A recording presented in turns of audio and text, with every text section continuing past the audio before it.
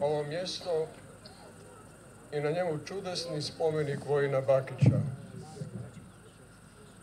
koji nikad nisam vidio u, stvarnosti. Jedna je od onih stvari koje mi nisu davale mira. Lakše sam razumijevao bezumlje ratno, u kojem je srušen nego li neumlje mirnodopsko u kojem se nije obnavljao. Bolje razumijem onoga koji je stojeći pored slušenog spomenika, kako svjedok kaže, rekao, to je trebalo srušiti. Nego li one koji danas kažu, taj spomenik nije upisan u registar kulturnih dobara Republike Hrvatske. Doista, ništa nije upisano dok se ne upiše. Vojin Bakić sam sa cjelokupnim svojim dijelom i ovaj spomenik kao njegovo najviše i najveće dijelo monumentalne plastike nije čekao da ga neki birokrat upiše. Ili da mu neki birokratski neum zametne dragove upisa.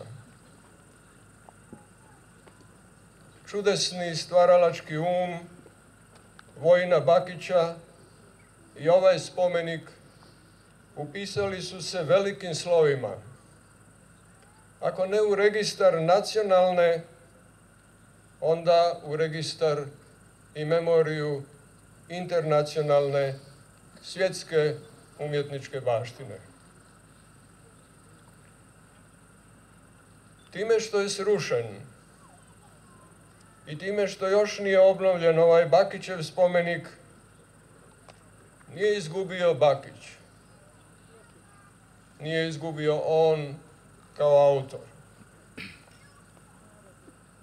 On je svoje stvaralaštvo ostvario i svoj stvaralački vrhunac dosegao kao rijetko ko od umjetnika njegove vrste.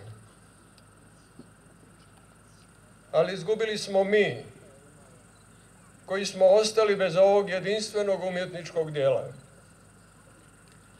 Izgubili smo, bez obzira na to što bi mogli vjerovati da nismo. Izgubili smo zato što je ovaj spomenik jedinstven po tome kako se jedno strašno ratno iskustvo,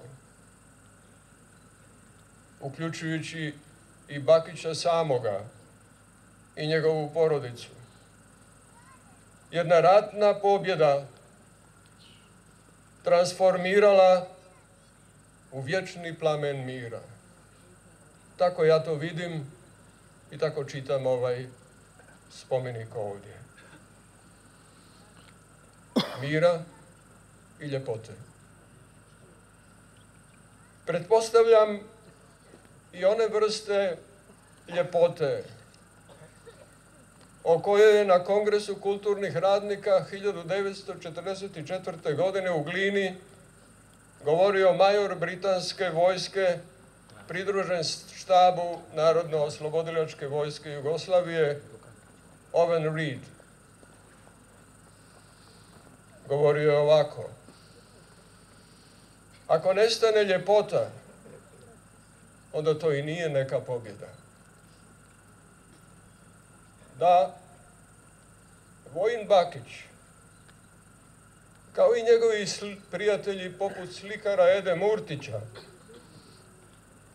koji je ovdje večera spomenut i danas viđen, i pjesnika Jure Kaštelana, uspjeli su od svijeta strahota stvoriti svijet ljepote i od ukalupljenoga svijeta političke ideologije u kojem su živjeli stvoriti svijet slobodnih oblika slobodnih boja i slobodnih riječi. Dakle, nije razlog našeg nemira ni to što su spomenici ove vrste zaštićeni inače Haškom konvencijom iz 54. i Ženevskom konvencijom iz 77. godine prošlog, godina prošloga stoljeća i što se njihovo rušenje tretira i kažnjava kao kulturocid. Na primjer, jedan visoki oficir jugoslavenske vojske zbog toga je kažnjen jer je uništavao baštinu Dubrovnika 1991. A jedan visoki časnik Hrvatske vojske je kažnjen zbog toga što je rušio stari most u Mostaru. Ovaj spomenik je dosegao tu vrstu ljepote i tu vrstu snage kao oni koji, zbog kojih su odgovarali ova dvojica. Razlog je dakle u odsustvu svijesti o tome što gubimo uništavanjem ili zapostavljanjem umjetničkih dijela koje su ratne poraze, koji su ratne poraze i ratne pobjede pretvarali u jedinstven umjetnički izraz i ispunjavali ga sa snažnim moralnim sadržajem. To je to s čim se teško pomiriti. Zato smo prije dvije godine došli na ideju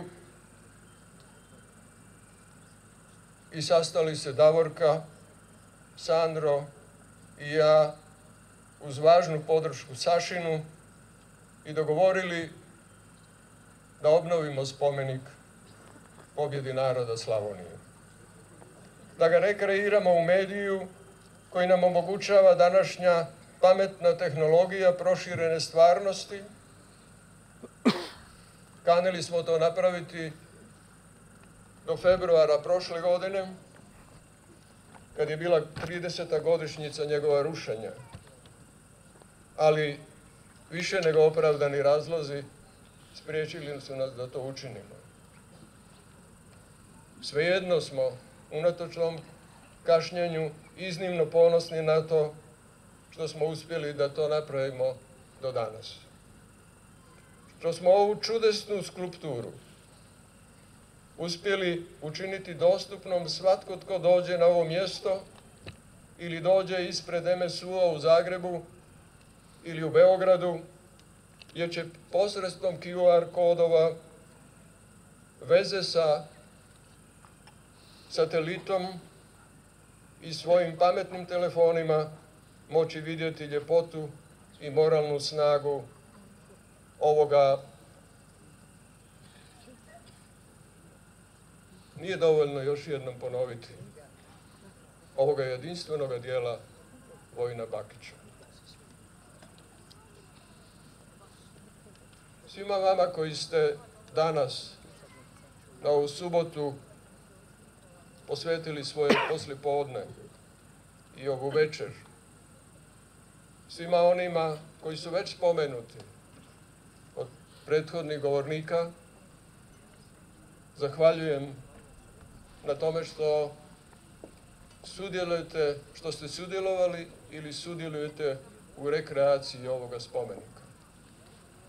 Zahvaljujemo i Hrvatskim šumama koji su obavili najteži dio posla da bi se raskrčila šuma koja se ovdje razrasla Zahvaljujemo Uredu za ljudska prava vlade koja je osigurala sredstva bez kojih toliki broj ljudi ne bi imao niti mogao na čemu raditi.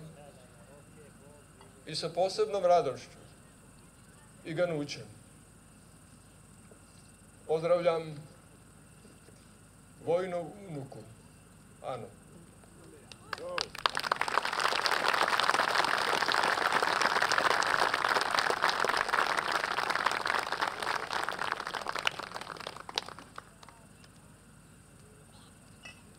Počeo sam sa nemirom koji nas je doveo do ovog mjesta i do ovog događaja. sasvim je sigurno da ćemo mirnije spavati noć koju je pred nama. I dane koje su pred nama. Ali uvijek ćemo razmišljati o tome. Da li će nas čuti? I da li će uvažiti ono što čuju? Oni bez kojih ovaj spomenik ne može nitko obnoviti. U ljepoti i snazi kakvu ja u stvarnosti nikad nisam vidio. A volio bih da je vidim ja ili da je vide oni koji će doći posle mene.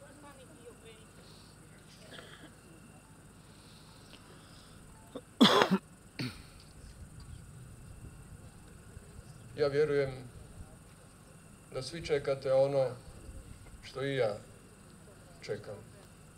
A to je da vidimo koju čudesnu ljepotu i snagu su Sandro Đukić i njegov tim uspjeli napraviti u proteklih nekoliko mjeseci i koji će nam pokazati u narednih 20 minuta.